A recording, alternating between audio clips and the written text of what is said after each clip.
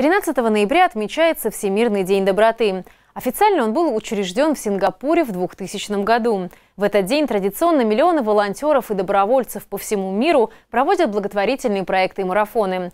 В 2020 году из-за пандемии коронавируса празднование проходит в онлайн-формате. Но, как показала практика, для доброты нет границ и препятствий. Наша съемочная группа тоже решила присоединиться к акции и рассказать о неравнодушных жителях Ненецкого округа, которые в трудную минуту протянули руку помощи и помогли сотням ребятишек справиться с тяжелыми заболеваниями.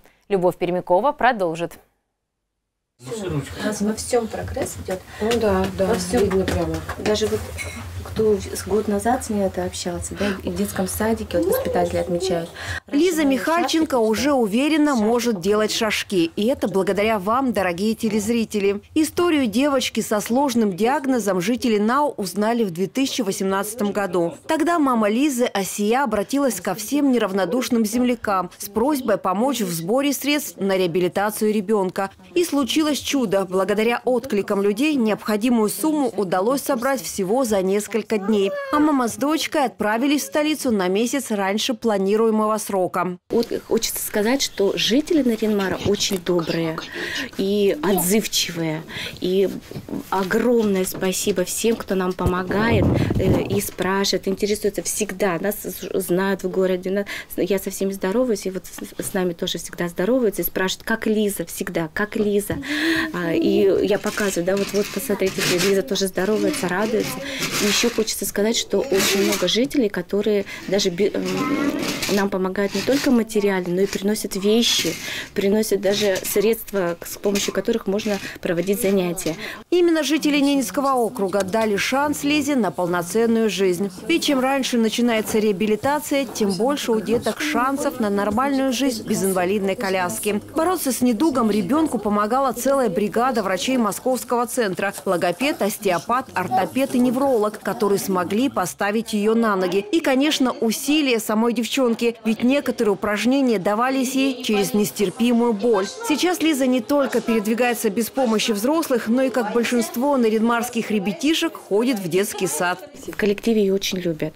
Ее очень любят воспитатели, ее очень любят ребята. Она, когда приходит в группу, все говорят, о, Лиза пришла, ура, да, со мной, пожалуйста, садись, да. То есть они как бы с ней очень по-доброму, по-хорошему. И ей нравится ходить. У нее есть друзья в садике уже, да.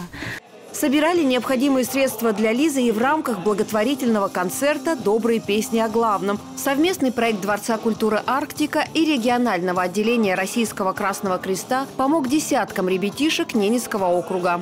Последние э, собранные средства, которые были от концерта в прошлом году, «Добрые песни», все буквально полностью были перечислены на лечение нашего милого журавлика Варвары. Да? То есть мы э, вс- эту сумму послали, плюс еще спонсорские средства, и, и плюс еще э, от эм, полученные благотворительные пожертвования от физических лиц. В принципе, и организации, и общественные учреждения – и лично каждый, э, мне кажется, каждый практически житель поучаствовал именно вот в оказании помощи и на лечение детей. Все средства от продажи билетов были направлены на помощь в первую очередь детям, которые тяжело больны, а именно на их реабилитацию, лечение, дорогостоящие препараты. В этом году, несмотря на пандемию коронавируса, концерт тоже состоится. Правда, совершить свой добрый поступок и сделать пожертвования жители НАУ смогут в онлайн-формате на платформе Boom Street.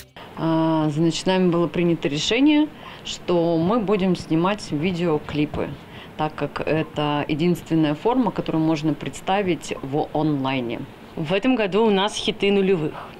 То есть э, всем э, любимые песни, любимое время. Поэтому, я думаю, наши зрители не останутся равнодушными к такому репертуару. Будут припевать и пританцовывать.